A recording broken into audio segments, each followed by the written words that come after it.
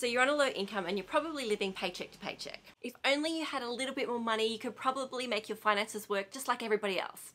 Hint, they probably don't have it figured out either. While extra money would help, I'm going to go over in this video tips on how to manage the money that you have right now. So let's jump in on how to manage your money when you're on a low income. Start with a reset. So if you're on a low income, you're probably thinking about money all of the time. So it's good to have a reset and to take a break from all of that.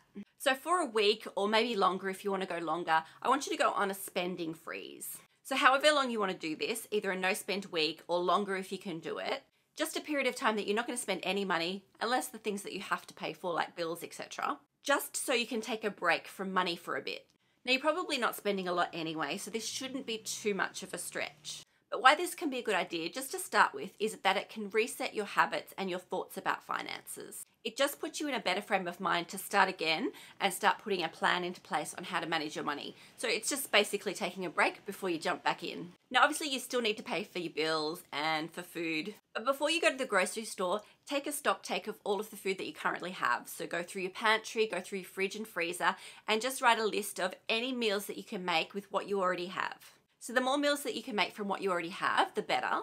Not only will you be able to use up what you already have and prevent food wastage and save some money, when you have to go to the grocery store, you'll only be supplementing to add to those meals that you can already make. So you won't be buying everything from scratch, you'll just be supplementing. Also, during this reset period, take a note of any free activities in your area.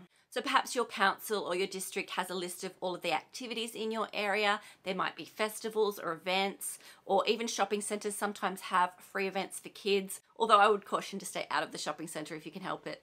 Anything that sounds fun is worthwhile considering. So perhaps you could pack a lunch and go and see free music somewhere or something else that's going on. Perhaps you could visit the art gallery if that's free to enter. You could go to the library and borrow books or libraries have a lot more other things to borrow these days as well from CDs, music, DVDs, lots of things. So during this reset period, just try to make it a goal to spend as little as possible. Nothing if you can do it, although that's probably unrealistic just to take a break from thinking about money and spending money and all of that. And so then you can move into the next phase. To build your foundation. So now that you've sort of had a break and reset your thoughts and your habits around money, now it's time to put a system into place. So under this section, we're going to cover three things. One is building your budget, the second is paying off debt, and the third is starting a savings plan. So let's start with building a budget. Now, if you already have a budget, that's great. You need a way to be tracking your income and expenses. Now, I don't like general budgets, the one where you're supposed to just fit your figures into some uh, sheet or app or anything. I prefer people make uh, personal budgets for them based on what they actually earn and what they actually spend. And so the only way to do this is to track your income and expenses. For one whole month, track every bit of income that comes in and anything that you spend. Now, it doesn't matter if your income is weekly or monthly. It also might be that it's the same each paycheck or it might vary depending on how many hours you've done. Just get it all written down somewhere. It could be in a journal, it could be in a spreadsheet, it could be in an app, whatever makes sense for you. You're just tracking it. Do the same for all of your expenses. Anything that you spend money on, track that as well. So include anything that you're paying money on bills, food, shopping, transportation, anything. So anytime you spend money, just write it down. You can either categorize things if you want to put everything under, say, entertainment or transportation, or you can give everything its own separate line. That's entirely up to you. I always think that in the beginning it's a good idea to keep things separate because then you can start to see trends really easily. But once you've been doing it a while, then you can start to categorize things into general groups. So at the end of one month, you should have a good idea of what a typical month is for you. So tally everything up, expenses on one side, income on the other, and just see where you're at. So do you have any money left over at the end of the month? The goal is to spend less than you earn. So even on a low income, you want to be spending less than you earn because the only way to get ahead is to have some money left over. So if that's already the case, then great. But if not, you're either going to have to do one of two things, increase your income or reduce your expenses. Now, reducing your expenses is probably going to be easier because it's in your power. It's not as easy to just find extra income, but it can be done. Now, eventually down the track, you want to look at how you can eventually get out of being a low income earner and how you can better yourself. That might mean studying or moving cities or moving jobs. All of these things take a lot of logistics and might be costly though, so you have to really consider them. So now that you've tracked your income and you've got a little bit of a working budget for you, now's the time to put a plan to reduce debt. So make a list of any debts that you have. That might be credit cards, uh, car loans, student loans. You can include your mortgage in this if you have one. It, uh, it's up to you whether you want to pay it off early or not. Some people like to, some people just leave that out because they don't think it's important to pay off quickly. That's up to you. If you are thinking about borrowing for a car, I would say hold off and don't do it and try and save up something instead because cars depreciate so fast and you end up paying so much more for something that's just not worth it in the end. But I know for some areas, there's no getting around it. You need transport. Just try and find the cheapest thing that you can. Anyway, beside each debt, I want you to put the minimum payment, how much you owe, what the date is that you're meant to be paying by, and also the interest rate if you know it. Usually this is somewhere on your statement on how much interest you're paying, but sometimes the bank will list it just on their website. So if you know the interest rate that you're paying, put that there too, because that's going to be really important. Now from your list of debts, you're going to choose one to focus on, just one, and then you're going to pay the minimum on the rest. So which one are you going to choose? It doesn't really matter. You could choose the one with the lowest balance. That means you'll be paying it off faster and so you'll have less debts overall. You could pay the one with the highest interest rates. That's going to save you money in the long run. Or it could just be the debt that you just want to get rid of because you've had it for so long and you just want it out of there. It really doesn't matter that much. There are pros and cons to each. It depends whether you want to save a little bit more money or you just want to get rid of a particular debt at the end of the day, it's just focusing on one and paying the minimum balance on the rest. And then when you pay one off, you focus on the next one and so on. Now, the reason you want to focus on paying off your debts fast is that it's going to free up money for other things.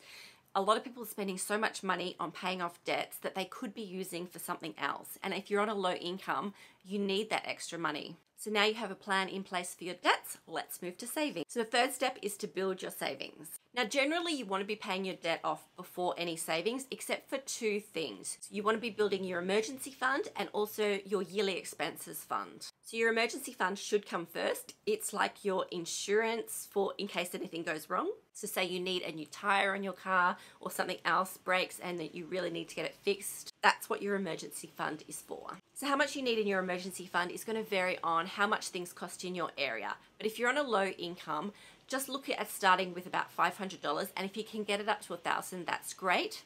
A lot of people say that you should have six months worth of income in there and that's great if you can do it but if you're on a low income i think that's unrealistic to expect someone to be able to afford to save up that much money in a short period of time just focus on 500 or 1000 to start with that's more than enough to cover any minor emergencies. You can build it later on, but just get the basics there first. So next is your yearly expenses fund. This is a fund where Everybody has these big yearly expenses that could be insurance that's due once a year. It could be Christmas. So what you want to do with this fund is to work out how much things are going to cost over the course of a year, how much all of your big yearly expenses are going to cost, and then divide it by how often you get paid. So the goal is to put away a little bit each pay so that when the expense comes around each year, you'll have the money there and you won't have to scramble and try and find it. You'll already have saved for it. Now, of course, this does require some pre-planning. You have to work out how much you need and then start putting some money away and you might need to put a little bit extra in the beginning because you won't have a full year's worth of saving to, for it. This is just going to stop those certain times of the year where you're just struggling for money. You just want to have built up your yearly expenses fund to cover those big expenses that come around each year. You've got your foundation built, you've got your budget happening, got a plan for reducing debt and a plan for building some savings. What's next? So the third stage is just to live the plan. And what do I mean by this? So as you go through just living your life, trying to manage your money as best as you can, your life is going to adapt and therefore your finances is also going to adapt. So like living, it's important to be flexible with your finances as well. And I'm constantly changing my budget according to what's going on in my life and if my expenses change or if my income changes, I'm constantly changing things as life changes. But if everything's not going to stay the same, how do you make it all work? Well, I think it's important just to keep on top of things and just keep gradually trying to get rid of the debt, start saving, and just trying to spend less than you earn overall. You want to treat your finances with as little emotion as possible. And I know when it comes to money, people are irrational and emotional. But the more that you can be level headed about your finances, the better that you're going to be in the long run. You want to separate who you are from what you earn. Your money and how much you have doesn't define who you are. You want to keep them separate. You just want to keep a level head about your money. So no emotion. So since you're not going to be emotional, it's time to be responsible about your money. Because if you can change your attitude to money, you can change your life. So now just go through and analyze your spending habits and try and see where you can cut back. So even if you do have some spare money left over, it's good to be critical about all of your purchases. Now, what you keep in your budget is going to be up to you. It's going to be personal because personal finance is personal. I suggest just keeping those few things that you absolutely love that you can't live without and either reducing or getting rid of the rest. Look, if you're on a low income, it's likely that you're spending as little as possible anyway, but it doesn't hurt to go through and see where else you can cut back. Being frugal is nothing to be ashamed of. Some of the biggest billionaires in the world are frugal. A lot of the times we tell ourselves that we deserve something because we've had a bad week or we're not feeling great about ourselves. But as I've said before, saying I deserve it is killing us financially. You deserve more than just the stuff that you have. You know what you do deserve? To be empowered about your finances and not to get sucked into the constant marketing messages, the constant social media pushes, the crazy consumerism that we just seem to be bombarded with. So cook your own food, take your lunch to work, turn off any heating and cooling anytime that you can. Look for a cheaper phone plan. Think about selling your car if you can use public transport and it works out cheaper.